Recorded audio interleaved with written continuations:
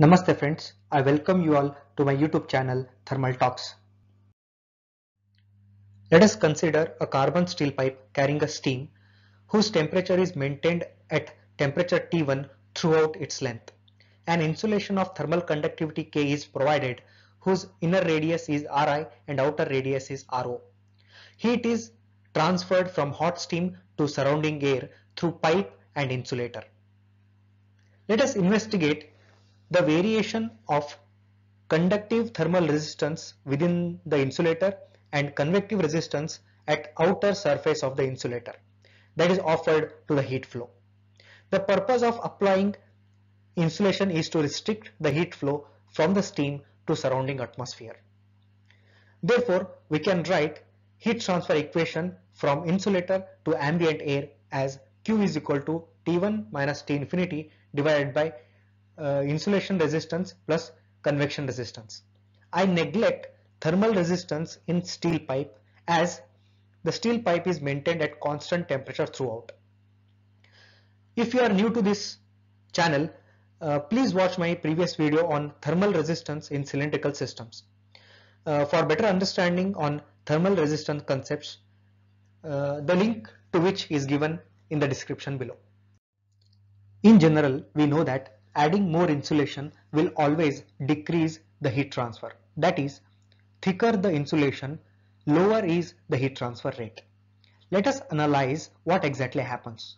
If you carefully observe thermal resistance equations, we can have a distinct relationship between outer radius of insulation Ro and thermal resistance offered by insulation and convection. As thickness of insulation increases, insulating resistance also increases.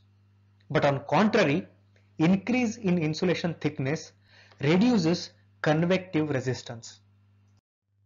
For better understanding, let me represent the effect of thermal resistance with respect to insulation thickness, in this case radius of insulation.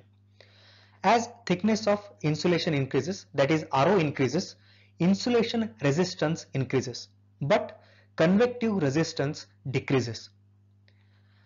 And now we can represent the sum of insulation resistance and convective resistance as total resistance. Note that the total resistance approaches minimum. The insulation radius at which the total thermal resistance is minimum is called critical radius or critical thickness of insulation. As total thermal resistance is dependent on outside radius of insulation Ro, hence mathematically we can find out what is that critical radius for insulating cylindrical system by differentiating the total resistance with respect to Ro and equating it to 0. Let me remind you that Ri, inner radius of insulator is a fixed value. So thermal resistance always depends on the value of Ro, outside insulation radius. Differentiate the total thermal resistance with respect to Ro. It is merely a mathematical deduction and uh, later by rearranging the terms at the end uh, we will get the value of Ro that itself is critical radius or critical thickness where total thermal resistance is minimum. It is the ratio of thermal conductivity of insulating material divided by convective heat transfer coefficient. The heat transfer from the pipe may increase or decrease depending on which resistance effect dominates. As we can see, heat transfer is maximum when total thermal resistance is minimum at critical radius. Let us close, closely examine the region 1 where thickness of insulation is less than critical thickness. That is if the value of Ro is less than Rc. As addition of insulation increases from Ri, the heat flow increases till insulation radius reaches the critical value where total thermal resistance is minimum. This case is applicable in insulating current carrying wires where addition of insulation actually helps dissipate more heat from the wire that safeguard it against overheating of electrical wires. It is not necessary that material should be both electrically and thermally resistant. Hence, electrical insulation will have multiple layers of insulation. So let's come to region 2 where thickness of insulation is more than critical thickness. That is, if the value of RO is greater than RC.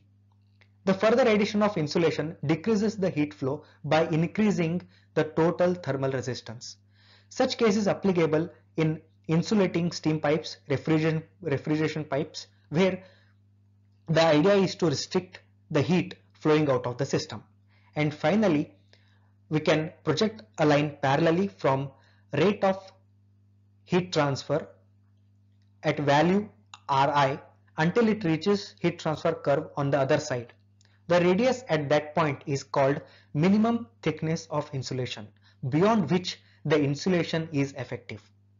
This is not some theoretical explanation.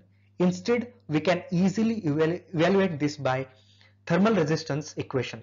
So quickly take a simple example to understand it better. There is a refrigerant pipe of outside radius 1.25 centimeter and it is maintained at constant temperature minus 10 degree throughout its length. We must provide an insulation of thermal conductivity 0.25 watt per meter Kelvin uh, so that heat will not be lost. But in this case, uh, the pipe is exposed uh, to an ambient air at a temperature T infinity 25 degrees Celsius and convective heat transfer coefficient H 10 watt per meter square degree Celsius. So let us calculate what is the critical radius of insulation and represent the variation of heat loss for every increase in 2 mm of insulation. So we can easily calculate a critical radius as we know the value of thermal conductivity of insulator and convective heat transfer coefficient both are given. So RC is equal to K by H, RC is equal to uh, 2.5 centimeter. So therefore we can write critical thickness of insulation RC is equal to R2 minus R1. R2 is outside the radius of insulation, R1 is inside radius of insulation.